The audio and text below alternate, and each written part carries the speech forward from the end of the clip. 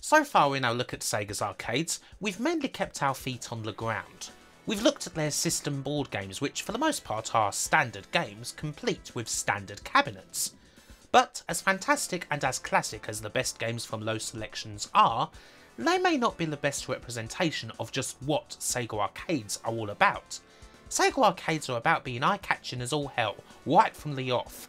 The centrepiece of an arcade, the one that's always got a line. Hell, there's a few games that have featured in the list so far that I've had a little bit of a blind spot on, purely because I'm not aware of the cabinet that they come in. Take Hot Rod for example. On the surface it's a pretty generic top-down racer, innit? But as people pointed out, it supports four players and it came in a big cocktail cab where everyone has a steering wheel and there's a giant bar with Hot Rod plastered and lit up all over it. That sort of thing makes a difference. You see that, you're going to want to play it. And so, in this video, we're looking at the games that came in the big cabinets, the ones that are perhaps the most impactful in Sega's whole arcade history. Finally, we're looking at the super scalers, we're looking at the vectors, we'll even have a little look at some of the most eye-catching games from the very early days. While we may not be able to play virtually any of the electromechanical and discrete logic titles, at least not in the original form, we can still cool the wonderful machines. And this list isn't going to be a regular countdown because, well, it's kind of hard to do that with these games. The spectacle is often as important, if not more important, than the game. Let's take G-Lock as an example. Not a bad game, but when you just play it on MAME, you may just think that it's a graphically nice arcade flight game that's a little slow paced and not a lot more. And yet, well, that's kind of missing the point. G-Lock becomes a wholly different matter when you play it in its Afterburner on steroids deluxe cabinet, or even better than that, on the R360 cab that the game was designed for that will literally turn the player upside down. You can't replicate that in MAME. So instead we're going to go chronologically through these games, just because it'll be a bit fairer that way.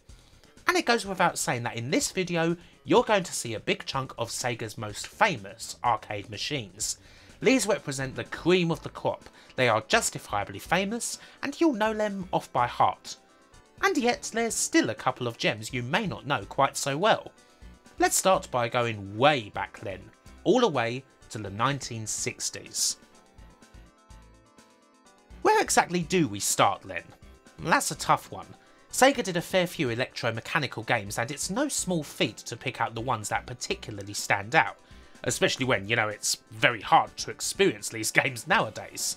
They're not emulatable in MAME, of course, seeing as they were made using electronic circuits and dealt primarily with the movement of physical objects. Hell, most of them didn't even have a screen or any kind of projection until the late 60s, when the projection of animated images started to become more common in these games, and in fact Sega were trendsetters in this regard. But perhaps Sega's biggest innovation in this era, if not the biggest innovation in their entire history, came in 1969 when they released a game called Missile.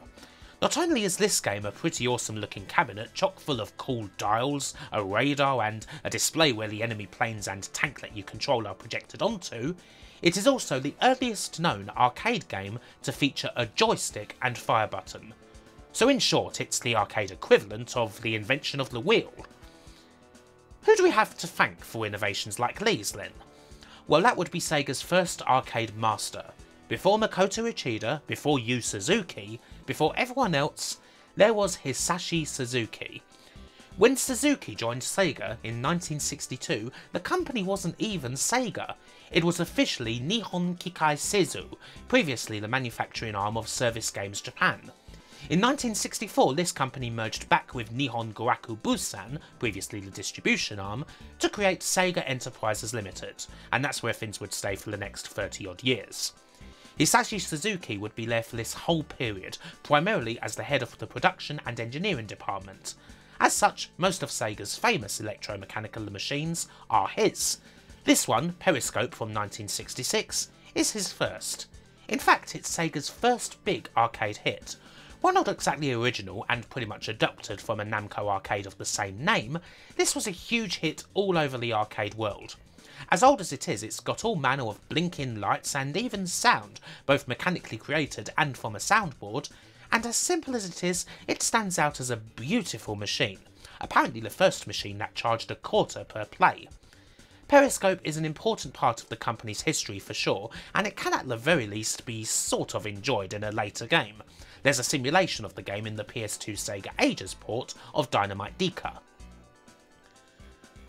The formula for Periscope would be adapted into other games, such as the aforementioned Missile, as well as the likes of 1969's Duck Hunt, another influential title which made use of video projection to produce animations of moving ducks on a screen that could then be shot down.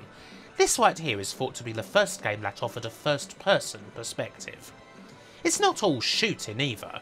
Here you've got Grand Prix, also from 1969. This is a racing game of sorts where you have to avoid other cars, although unlike earlier examples of this sort of game, it again uses video projection. This is another example of a clone becoming more famous than an original. The game Indy 500 by a company called Kasco came first, but Grand Prix by Sega is more famous. More ambitious still is Jet Rocket from 1970, once again we have targets to shoot, but this game actually gives you a 3D landscape that you can move around in freely in order to locate the targets. Not bad for the time and Jet Rocket can actually be considered the first flight simulation game. Some would even call it the first sandbox title, or even the first action-adventure game. In any case, Hisashi Suzuki's influence on the world of arcades is basically incalculable, all of the games just mentioned were either his directly or they were produced under his watch, along with many other electromagnetic games by the company.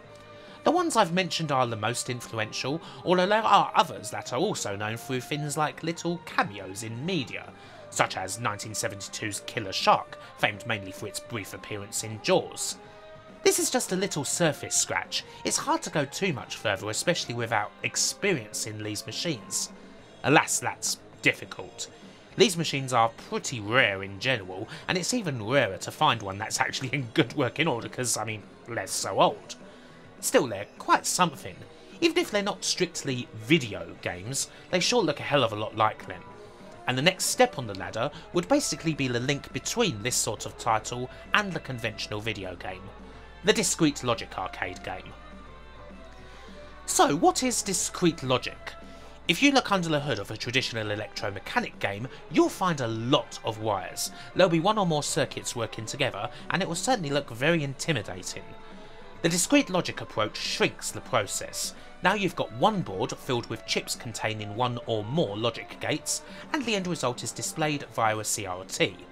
Shrinking the process shrinks the machine. Most electromagnetic games are big for obvious reasons, but discrete logic arcades are mostly regular arcade sized, and also cheaper to make. The discrete logic machine was much more suited for larger distribution, what was really needed to bring arcades to the level of popularity and indeed omnipresence they would reach in the mid 1970s. Of course, no machine sums that up better than the granddaddy of them all, Pong from 1972. So what of Sega's discrete logic efforts? Like just about everyone else, they started with a Pong clone, Pong-Tron from 1973, which helped to bring the game to Japanese audiences. After that, 1974's Balloon Gun takes the first person shooting we've already seen the electromechanical games to discrete logic for the first time. But it's 1976 where we see Sega really embrace the concept. Quite a few of their more famous discrete logic arcades came out in this year. For example, remember Heavyweight Champ? You may know it as an arcade from the 80s, one that's pretty much a clone of Nintendo's Punch-Out. But it's not the original. The original Heavyweight Champ from 1976 is quite a different matter, a game where you pull this big old boxing glove out and then release it as you would a spring launcher on a pinball table, while also moving it up and down to adjust the glove's position on the screen. Quite a bit more nifty that. And of course there's one of the first licensed games ever, Fonz. You get to play as Fonz from Happy Days, riding a motorbike using the handlebars and avoiding other bikes on the road. An evolution from Grand Prix, and actually already released under the names of Man TT and Motocross, although obviously the Fonz branding makes this one stand out a fair bit more.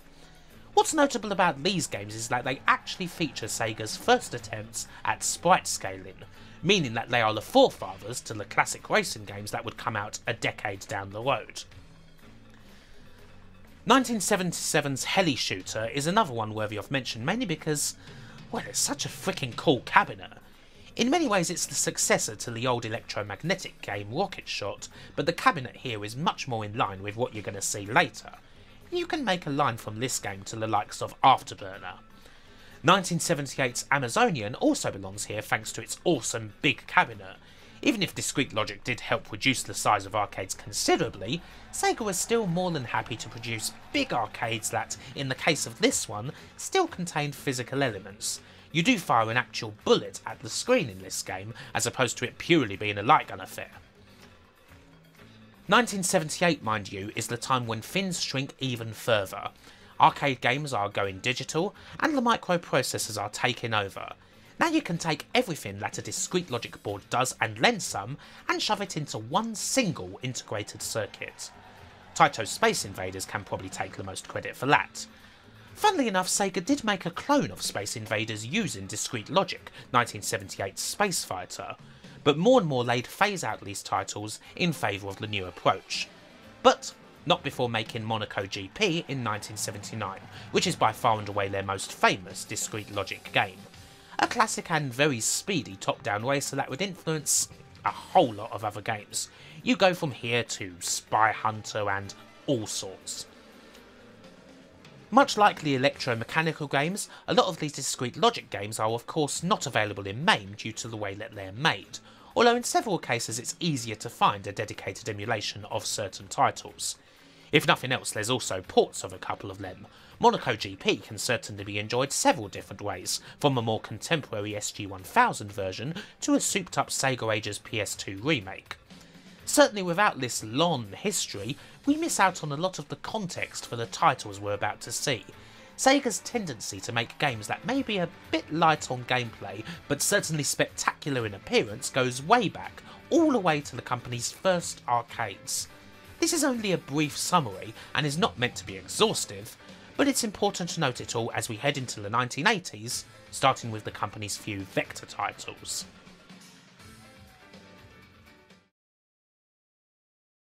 I suppose the Vectors here are in an odd place. A lot of them could simply have been included elsewhere, perhaps in the early years video, seeing as they're more in line with conventional machines. But then the Vector is in and of itself a presentation largely unique to the arcades, with only one home system, the Vectrex, that was ever dedicated to bringing the Vector experience home properly. I think they fit in more here as a result. There were six Sega Vector games, all of which were made using the G80 board, hardware that was designed to be quite versatile and allowed the operators to swap out G80 games very quickly, G80 is kind of a precursor to the JAMMA industry standard, although it was only ever used by Sega. Of the six Vector games, one of them, Battlestar, is very obscure and has never been dumped, meaning that we're going to cover five games released between 1980 and 1982. Space Fury from 1981 is the first of the Vector games. On the surface it's not wholly original, you have a ship, you have enemies, and you have thrust controls, so it's a fair bit like Asteroids. In fact, almost all of Sega's Vector games owe a fair bit of depth to asteroids, they play like variations on the theme. However, Space Fury stands out because the graphics are highly improved, there's a good bit of colour there. And there's also a very cool intro. Check this fellow out. So, a feature for my amusement, prepare for battle. It's not a bad take on a familiar game. It certainly helps if you really like asteroids, of course. And I do. Eliminator, also from 1981, is another asteroids variation. The focus isn't so much on dealing with enemy ships, it's on taking out the big old asteroid that's moving around, that asteroid being the Eliminator of the title. Your shots actually push opponents rather than blowing them up, and you deal with these guys by pushing them into the Eliminator. In fact, the only ways to die are by hitting the Eliminator, or hitting ships that spawn from the Eliminator. Not bad, eh? But single player doesn't do this justice. This is actually a four player game. Yep, much like Hot Rod, four people can gather around a cocktail cab to play this game at once. duking it out with each other for supremacy and power. In fact, Eliminator is totally unique because it's the only four player vector arcade game ever made. So, congratulations to it for having a spot in arcade history where it stands alone. And now, from 1982, we have by far the most famous of Sega's vector games, Star Trek Strategic Operations Simulator. Naturally, the license has a lot to do with that. While this is far from the first Star Trek game, it's certainly one of the first that wasn't just a load of text on a mainframe computer. It's both fancy and simple in equal measure. You've got a cracking display, speech samples courtesy of Leonard Nimoy, and all these very cool ships flying about in vector mode. There's lovely little effects all over the game. Mind you, the main play window on the top right is where you'll be focusing a lot of attention, as that's how you track and shoot most enemies and in this regard, strategic operations is actually pretty close to being another variation on asteroids. More thrust controls and a zone of ships to destroy. Obviously that's not a bad thing, especially when it's all wrapped up in such a great pile. Honestly, this is one of my favourite early Sega arcades. I think if I had included this game in the early years Sega list, Star Trek would have most certainly been in the top three. It's bloody great, and one of the best Star Trek games ever.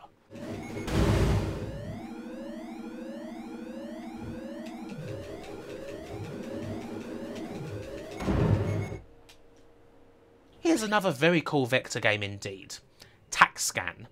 This is the one that's actually not like Asteroids at all. It's a more traditional scrolling shooter only in vector form.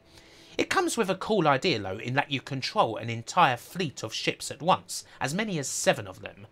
Controlling seven ships makes for a pretty big target and you can obviously expect to lose plenty of them, but rather than just having lives you have a quantity of ships and you can regenerate them as you see fit with the click of a button. TACScan also has several perspectives and modes of play. There's top-down and third-person, as well as a flying through hoops section. You got a lot of change-ups to keep things fresh. There's not too many shooters like it. We saw Starjacker in another vid, but compared to TACScan that feels like a simplification of the concept. Definitely interesting, and worth checking out.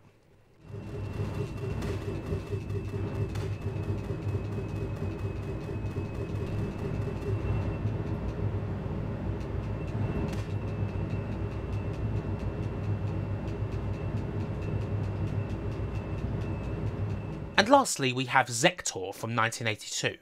Zektor is once again a bit of an asteroids variation. I think it's basically a follow-up to Space Fury, what with the similar gameplay and another very cool intro that makes use of speech synth and has a rather intimidating looking fellow asking if you're up to the fight. So you come to take a star back. You'll have to fight for it. The game? Well, it's like asteroids only with a wall surrounding the play area. The wall doesn't kill you, but you bounce back off of it instead of warping to the other side. It looks freaking awesome, of course. There's something that truly sparkles about Vector titles, and the gameplay adds a little touch of the arena shooters to it all, making it feel like a cross between Asteroids and Robotron. Probably the least of the five games here, but this and indeed every other Sega Vector title are still recommended. There's certainly no stinkers to be found amongst them. Oh, here's something else that we should quickly look at. Sega did have a little part to play in the glory days of the Laserdisc arcade. They had their own special hardware for it and everything, and a few games were released using it. Not many of them are particularly famous, it has to be said. Cobra Command, a game by Data East that uses the hardware, is probably the one that most people would recognise, mainly thanks to it getting a Mega CD port. However, while these games still have the general limitations you often find in Laserdisc titles, they do try. Astron Belt, for example, isn't wholly linear and generates scenes at random depending on how the game is played. Still, there's only so much you can do. In many ways though, the games are still quite nice to look at. However, while the original Laserdisc games may not necessarily be standouts compared to the more famous titles in the field, it's worth jumping all the way forward to 1991 and spending a little bit of time talking about Time Traveller. In the last video, we covered a little game called Holosseum. It was a pretty bare bones fighting game, but it was notable because of its holographic cabinet. If you played it on the original hardware, it'd look as though the sprites were actually standing and not just being moved about on a screen. Which is all very nice. However, the holographic cabinet was not originally designed for Holosseum, it was made for Time Traveller.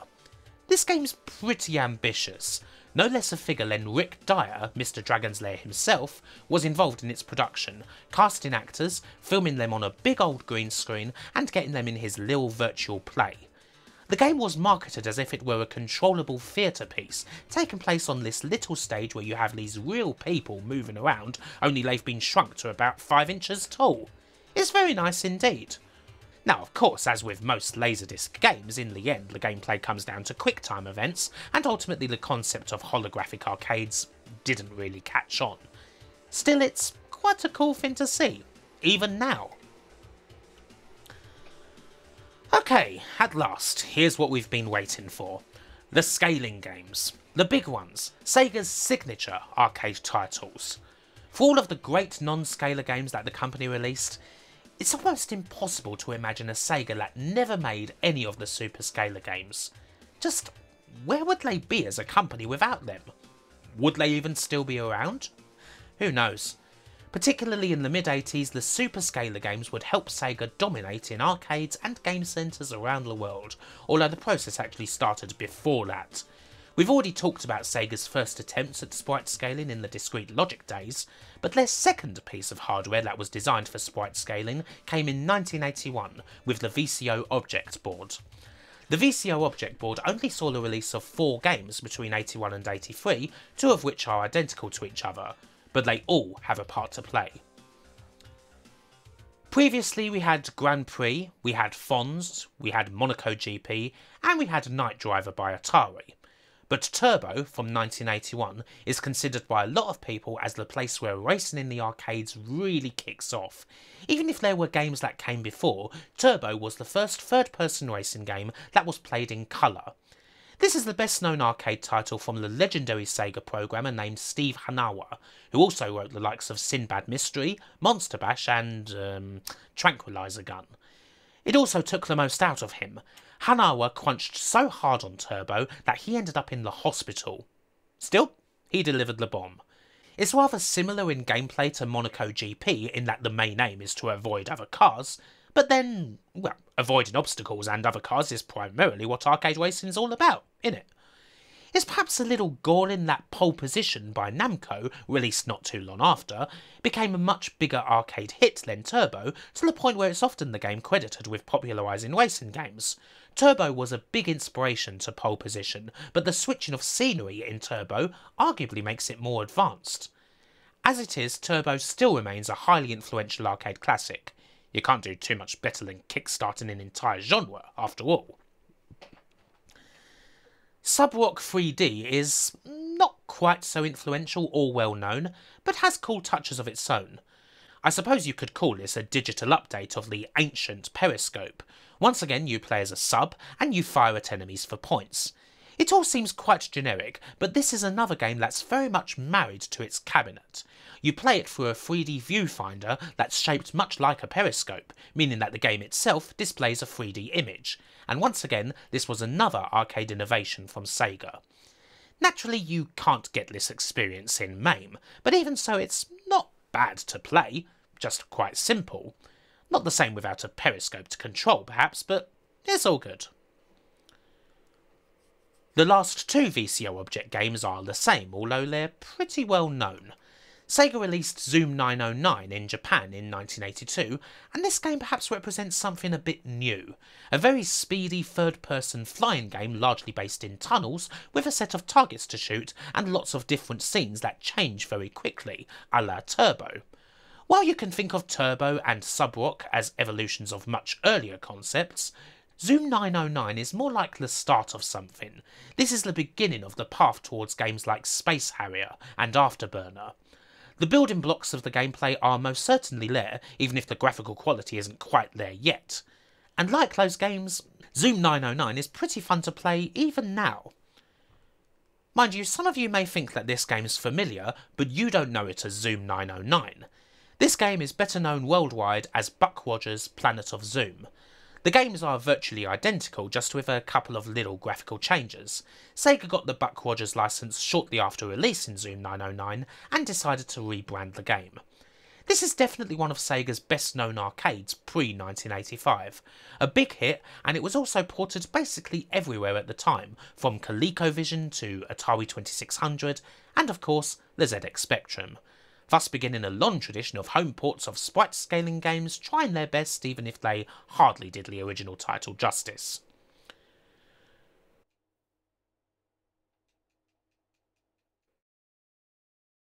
Right, now we get to 1985 and the glory days of the Superscaler. This was the year where Sega would introduce a brand new 16-bit board for their scaler games, and while most of the previous scalers were hits, this would be the game changer. The 16-bit sprite scaler games were monoliths. There was nothing else in the arcade that could come close to them. Obviously they'd drive a high price too, but pretty much any arcade operator would lap these machines up, looking for a premier attraction that, naturally, you could charge a bit more per play for than you could for any regular arcade game. There would be four boards specially designed for Superscaler games.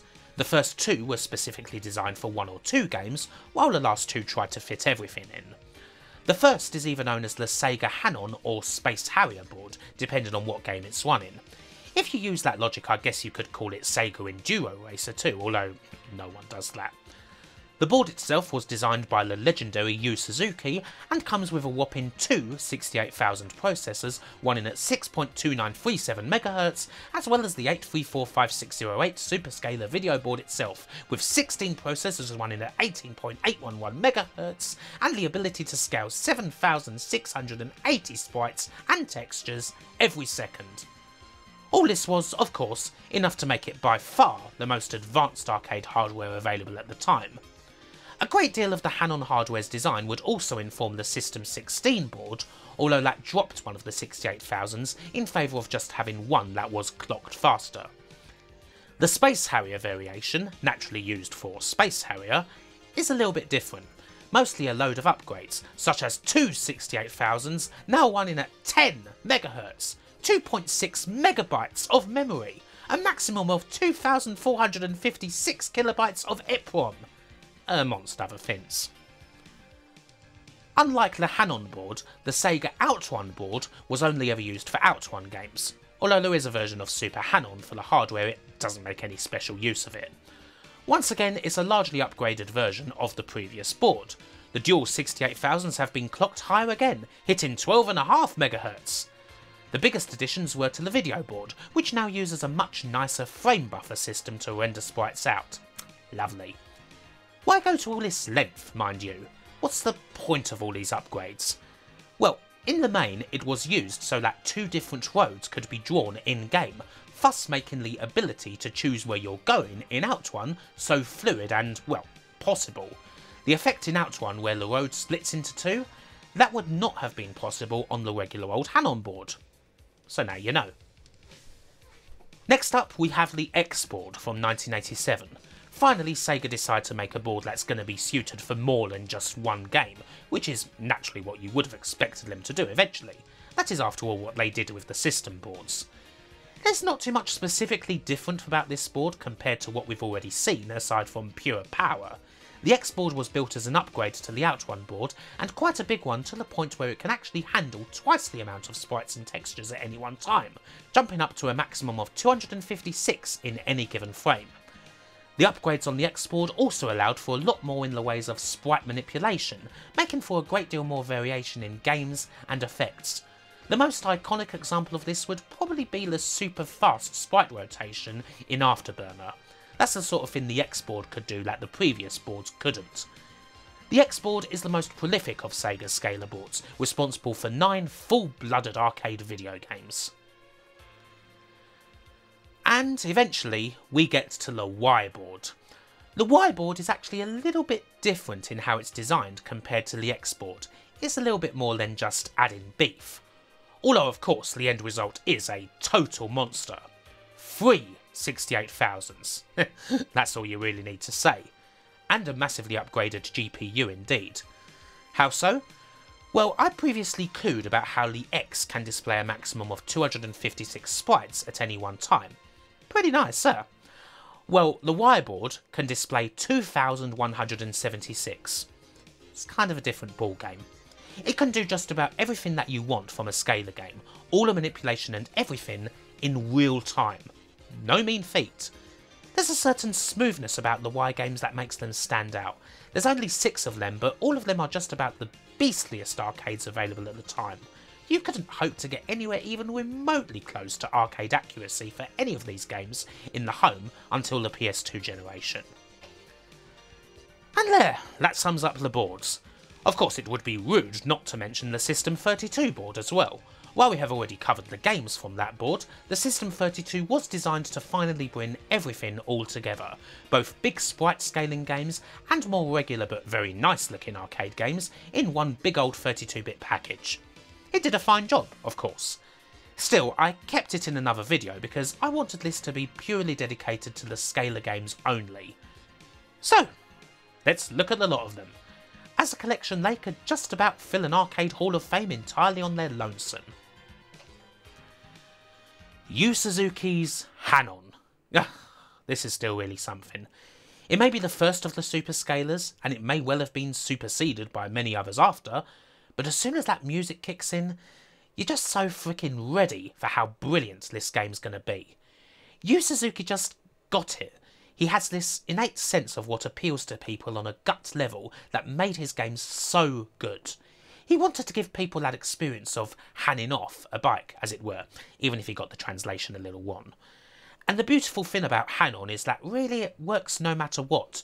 Obviously, the actual bike cabinet is iconic and the most perfect way to play this game, but Hang-On's still awesome when you're playing it on MAME with a controller. It's an arcade classic, of that there is no doubt. Also worthy of a little note is Hang-On Jr., the non-superscaler version of the game that was more than a little bit pared down. This actually runs on a board we've not mentioned, the System E board, which is kind of like the System C board in that its insides are basically that of a Master Systems. So this game isn't exactly a looker or anything, but hey, it's still bloody Hang-On and therefore good.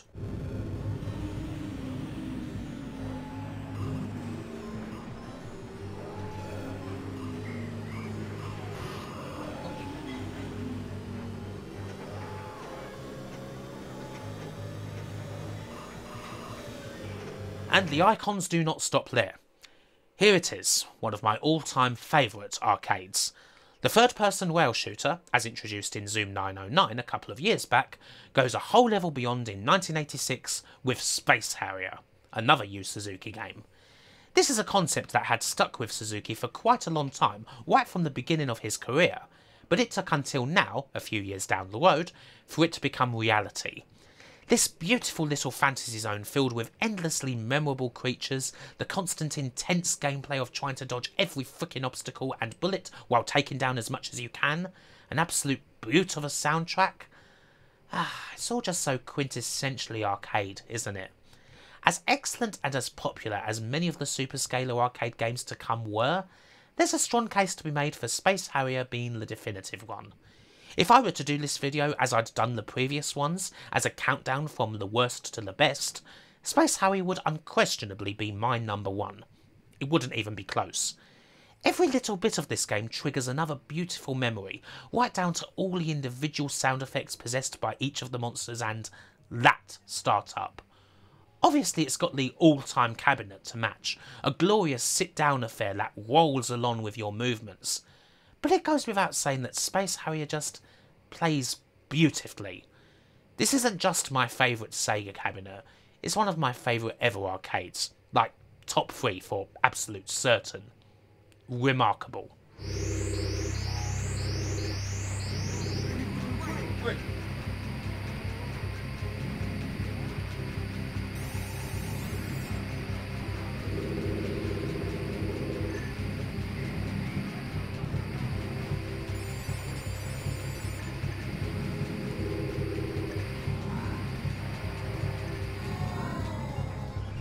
Enduro Racer, as awesome as it may be, sure does have a tough act to follow after we've just looked at Space Harrier.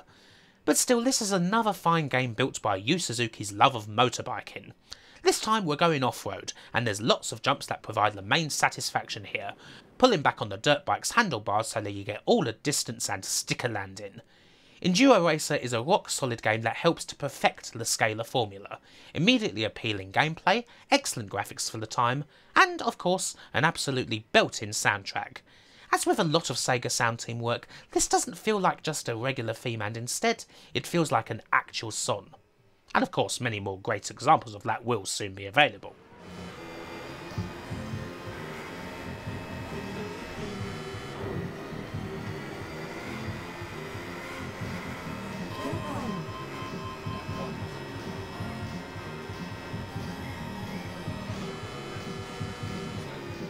Lastly, for the Hang-On board, naturally we have Hang-On's big follow-up, Super Hang-On. It's much the same gameplay for the most part, but everything's bigger and better. There's way more stages, and indeed multiple courses to choose from, as opposed to the rather small number in the original. There's the turbo feature, allowing you to go even faster. And there's the selection of four utterly iconic video game songs. Naturally, it's an even better experience as a result, both here and on the Mega Drive, where the port of Super Hang-On is quite possibly the best port for any of the Superscaler games, at least when it comes to contemporary systems. And of course, we should mention Limited Edition Hang-On from 1991, a small variation of the game that changes the courses up a little bit to make them a little bit more easygoing. This was the final appearance for the Hang-On board, a system that is, well, absolutely perfect. There are no bad games here. It's they're all gold.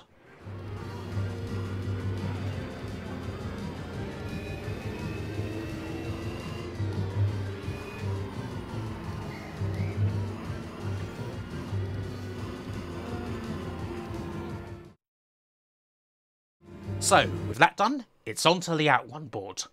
And obviously, you know what that means. The Yu Suzuki Classics just aren't stopping anytime soon. This is, of course, OutRun from 1986. The ultimate driving game, the one where you reach the goal with your girlfriend. You've got a time war, of course, but you don't have to get a position in a race or anything. You just take your Ferrari Testarossa alike and you drive. Lovely jubbly. It feels so relaxed and natural because, well, this is kind of what Yu Suzuki did to help make the game. He went out to Europe, rented a car, and just drove for a fortnight through Germany, Italy, Switzerland, various other places, recording everything. And when he came back to Japan, the end result of the efforts was OutRun. Just. Ugh, words barely do it justice. It's magic when you get to pick your route and fly along all these different, so iconic areas. It's got the best sound we've heard so far too. The first of these games that allowed us to choose the music we wanted to listen to from free classic gaming tracks. And there's the cabinet, complete with, for the first time in an arcade, force feedback on the steering wheel. There's really not much to say that's bad. I mean, unless you go into the home computer ports of the game, that is, then there's an entire book of bad things. But this is just dreamy. I think that's the best word for it.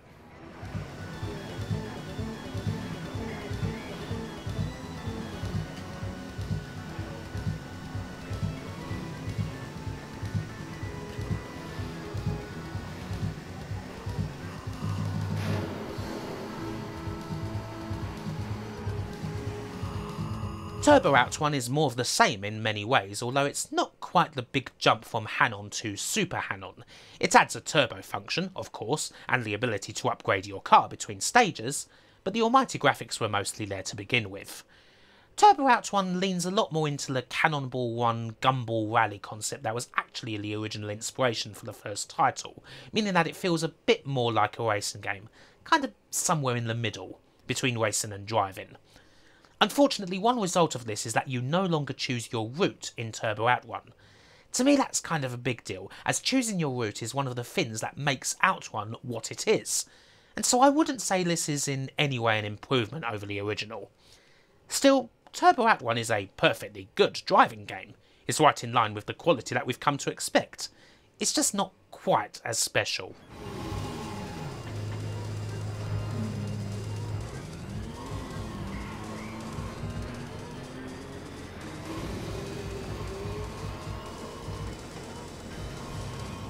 Okay, now we move on to the system X board. And it couldn't have a much better debut. it's time for some Afterburner. This is another Sega classic that had a bit of an intriguing journey. Originally it was going to be more of a fantasy effort, primarily taking inspiration from Castle in the Sky. However, things changed primarily thanks to Top Gun, as you might expect, and also Yu Suzuki's experiences of being taken up into the air in a fighter jet with an instructor. With this in mind, Suzuki set out to create a perfect and simple arcade flight sim. You've got your F-14 Tomcat alike, and your missiles, and an analog joystick. No fancy complicated controls or anything like that. You're straight into absolutely hair-raising action. So really, Afterburner does follow a similar formula to the other Superscaler games, only in the air. The beauty of these titles is how they take something that can potentially be quite complicated and they strip it down to a core. All it takes is one quick jerk of the controls in Afterburner and you're barrel rolling all over the shop, dodging bullets while satisfyingly wrecking any enemy planes with missiles every time you get the FIRE command. It's a whopping load of spectacle, more so than any other Scaler game so far, and to the point where a lot of people think that Afterburner is more about that than it is gameplay. And yet it's still got plenty to offer in a much more simple setting, as iconic as the presentation and in particular that rolling cabinet is. I almost feel like a broken record, as a lot of it comes down to similar strengths that the other games have, like immediate gameplay and glorious music, but then this is the winning formula that Sega constructed, and Afterburner sums it up as good as any other game, really. And of course, we do have the second version of the game, Afterburner 2. Despite the name, Afterburner 2 is not so much a sequel as an update on the original, largely consistent of the same stages. However, there are some pretty important quality of life additions. The lock-on system has been fine-tuned, the HUD's been rearranged, and you can now control the speed of your jet, which is actually pretty damn useful. All this and the addition of a couple of new stages make Afterburner 2 generally the best way to experience the game, and almost every port of the game is based on Afterburner 2, with the exception of the first port on the Master System. Either way, it's another arcade legend.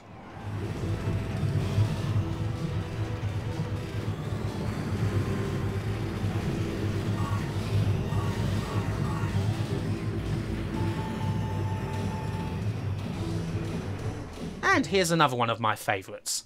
Thunderblade keeps us in the sky, and we're now in a chopper. This one's a bit different to what we've seen already.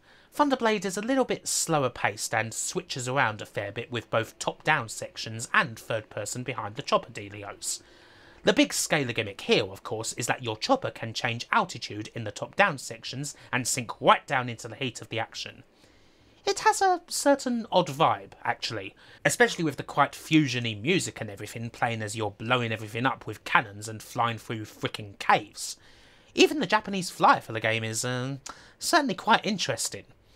I guess there's no better way to sum up the game's altitude gimmick than having the chopper fly through a lady's long pins, is there? All that aside, Thunderblade is bloody brilliant.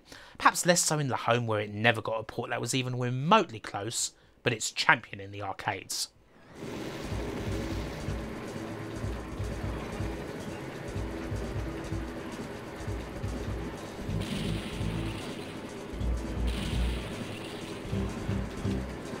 Right, after a long one of total classics that you no doubt know very well already, here's something different and obscure. The Superscaler game that you may well not know at all. Which is a shame because it's quite good and very different from basically any other Scaler game. This is Last Survivor. It only came out in Japan, and even then it didn't have a wide release. The one for this game wasn't even dumped until 2012, although weirdly it did get an FM Towns port. Last Survivor is a very early third-person shooter where you pick a character, gun down various enemies in order to obtain keys, and then make your way to the exit. Sorta like a 3D gauntlet, complete with enemy generators, treasure and the like. It's a bit slower paced than most third person games, and the rotary controls take a little bit of getting used to, but surprisingly I quite enjoyed playing this game. I found it to be an addictive little title once I got my head around playing it. All the controls you would expect in a third person game, just in slightly different forms. I certainly recommend having a look at this, even if it's just out of sheer curiosity. A very cool experiment, and it looks lovely to boot.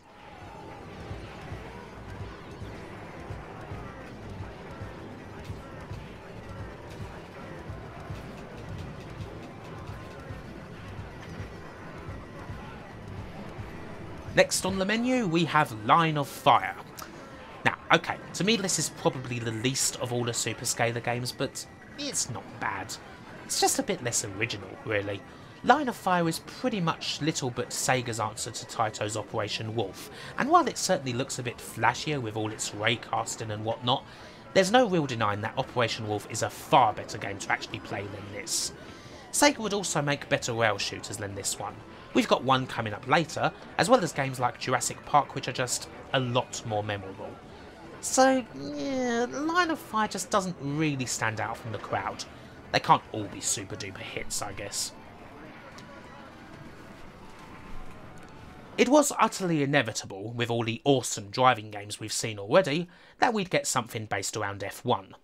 And of course that ended up being 1989's Super Monaco GP. Obviously this is a name that already carried a lot of weight for Sega. After nearly a decade, this game was marketed as the official sequel to Monaco GP, even though a hell of a lot had happened since then and this game is far, far more advanced. Super Monaco GP is in a little bit of an awkward spot. This is perhaps the only super scaler game that, despite being very fancy and indeed very good, is very much outstripped by its home versions. The Mega Drive game may not have the graphics, but it's a much more complete game with way more than one track. And that's before we get to the even better Ayrton Senna licensed sequel. The original is still cool as a pure arcade experience, mind you. It pretty much does exactly what it says on the tin. Like many other scalers, this would get a big second revision, although the main reason for this was because Sega finally got sued by Philip Morris for their repeated unauthorised inclusion of cigarette advertising thanks to this game, after a company executive just so happened to stumble across it in an arcade. Whoops!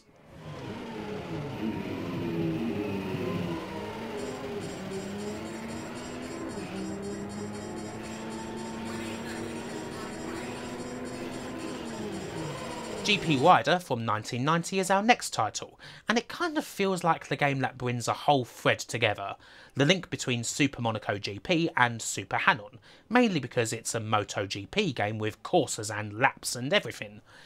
In the main, it does feel like the next step in the Hang-On saga, even if it isn't officially part of that series.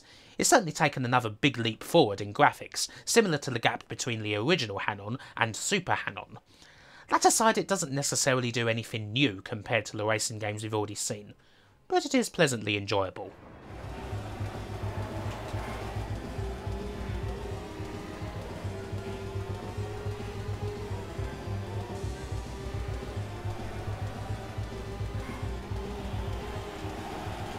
Here's another very cool game indeed that you might not be aware of, and it's certainly a breath of fresh air after so many racing games. AB Cop brings some good old fashioned action to the road. It's the future, you've got an air bike, and you've got to bash the absolute crap out of enemies in a Chase HQ style. Usefully, your bike is invincible and can stand up even to the harshest of enemy hits, but there is a time limit to watch out for. You've got to either destroy the quota of enemies or the level's end boss in the allotted time, or it's game over. AB Cop has some very satisfying features indeed. You get some limited jumps to play with that are handy when it comes to avoiding big enemy attacks and getting close in for some bashing, but the most satisfying is triggering the boost, slowing down just a little bit and then hammering the accelerator for a very welcome burst of speed is generally how you want to deal with these enemies, and you're going to need to master this in order to get enough hits on a boss to beat them within the time limit. Overall, this game is freaking awesome. It's not quite so well known, perhaps because it never got ported anywhere, but if you haven't played it, you really ought to. Seriously, it is one of the best Super Scaler games.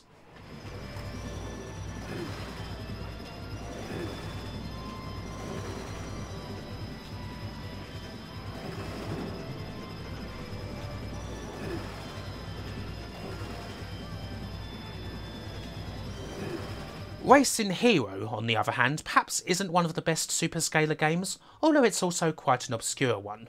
It's not too bad, it's just that it's another motorbike racing game, only this time it's taken from a first person perspective. It feels a bit more forgiving than the other racing games actually. The time limits here are a bit more generous than they are in something like GP Rider where you really need to be good to do so much as finish the first level. You may well find this to be a good thing, and really there's nothing bad about the game at all. A very competently made racer that only suffers because Sega already have a fair amount of these games on the go.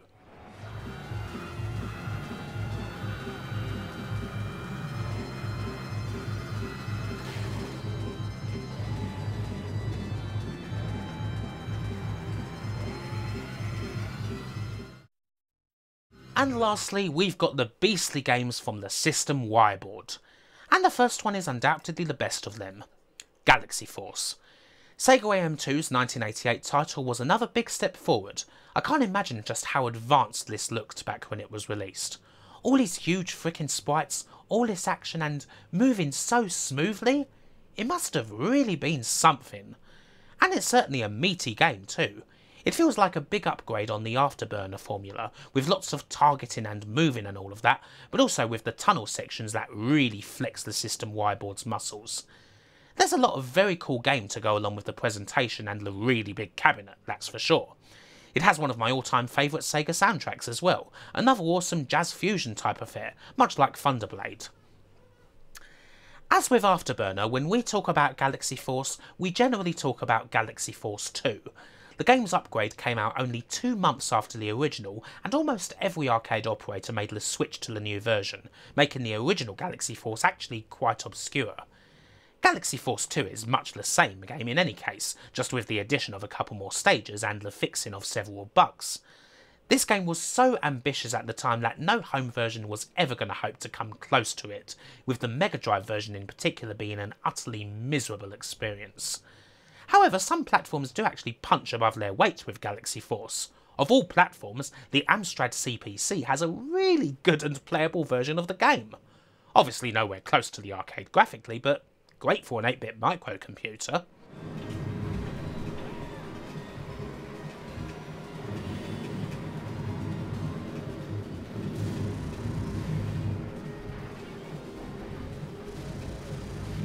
Power Drift, also from 1988, is another great showcase for the System board, mainly just to see how quickly and effortlessly it can manipulate sprites and textures in order to create the game's madcap undulating karting courses. And refreshingly, it's a bit different to the other racing games we've seen thanks to the short courses and not having to deal with a time limit.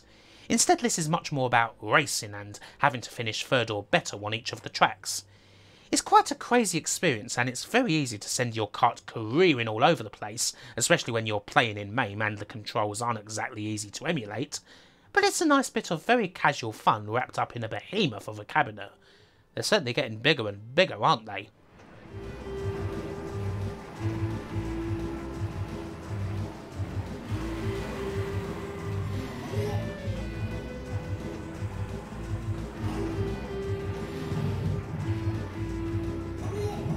But now we reach the lair of the ultimate Sega Superscaler cabinet. As mentioned previously, all the way back at the start of the video, G-Loc Air Battle from 1990 marks the debut of the R360. After all this time rolling around with your movement, this cabinet can turn you fully upside down, making for quite an experience, the sort that could easily make people lose their lunch. Naturally, a machine like this came with a very hefty price tag, on worldwide release, an R360 cabinet would set an arcade operator back $150,000 in 1991 money. Adjusted for inflation, that's around 280 grand. So, yeah, big bucks indeed, especially for a machine that you're probably going to have to clean quite a lot of vomit off of. It's hard to really say that G-Loc as a game justifies such a monstrous price tag, even if the cabinet is certainly something else. It is a pretty good flight sim. Much like GP Rider, G-Loc is thought of as an unofficial game in the Afterburner franchise. The main difference is that it's got a slower pace. You have to shoot down a set amount of targets in the allotted time. It doesn't necessarily need the high price cabinet to be fun. I do actually find this game to be enjoyable to play with a bog standard controller in MAME, so it's certainly not a bad game at all. Playing it in the R360 must have been an experience. $150,000 experience? Mm, maybe not, but still bloody cool. and then there's Strike Fighter, G-Loc's sequel. As with many sequels, there's not a whole lot of difference here. It's much the same aim as G-Loc, although the stages are certainly different and there's definitely a bit of a graphical upgrade. Oddly, despite being the sequel to G-Loc, Strike Fighter was not compatible with the R360 machine. In fact, there was only one other game that was, that being Wing War, which we won't see until we cover the Sega Model 3D games. Strike Fighter is more of the same, if you like G-Loc you will like this too, and it's considerably more obscure. However, it did get a port of sorts to the Mega CD, where it was renamed Afterburner 3. That's kind of bringing them together.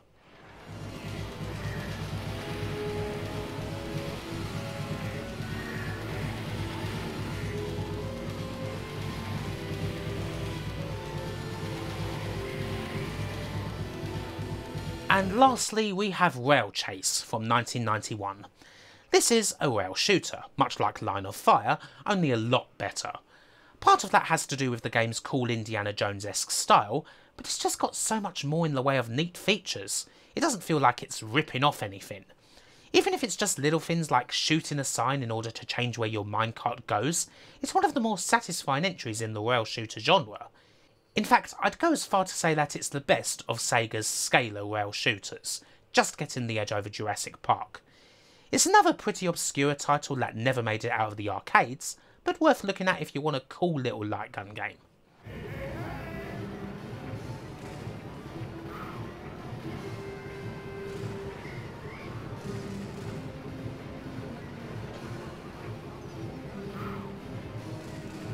And with that, we are finished with the Superscalers. It's certainly been quite a trip. A lot of these games are very well known already, but hopefully we've covered a few interesting facts about them. And, well, it feels like we've managed to cover most everything major from Sega's 2D arcade days. This video links up nicely with the System 32 games we covered in the last one, which represent the final step in Sega's Superscaler games. Next up, we're going to be going 3D, we're going back to a simple countdown and we're covering one single board, the STV, which was an awful lot like the Sega Saturn and had a lot of games made for it. Hopefully you'll join me again for that, but for now it's time to leave you alone for a wee bit and just come down for a space. Bye for now!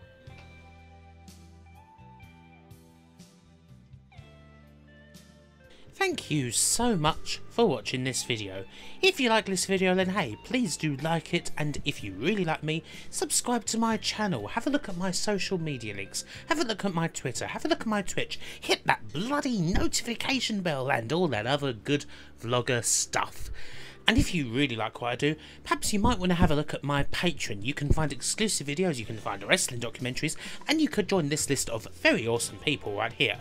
Alexa Jones Gonzalez, Andrew Dalton, Arcade LY Webmaster, Asobi Kwan DX, Brian Henniger, Chris Conrad Pritchard, D. Xulior, Remon Sutter, Tagaraf, Dungeon Keeper, Daniel Lomez, Danny Wolfers, Dave Cork, David Rose, Dinty76538, Dustin Cooper, Gary Samaden, Geordie Alex, Jayers Manchild, James Brown, Jace Alexander, Jeff Ladd, Lucas Kaligovsky, Matthias Gramzov, Michael Halliday, Mike Clayton Travis, Martin Pataki, Nate Milbank, Neem Kieran, Peter Margel, Renbimon, Robert DeFelice, Rusty Kelly, Seth A. Robinson, Simon Gulliver, Stuart Christopher Brownlee, Tarek Amir, Tim Wald, Yerka Operator, and to all the rest of the glorious community. Thank you so much and goodbye.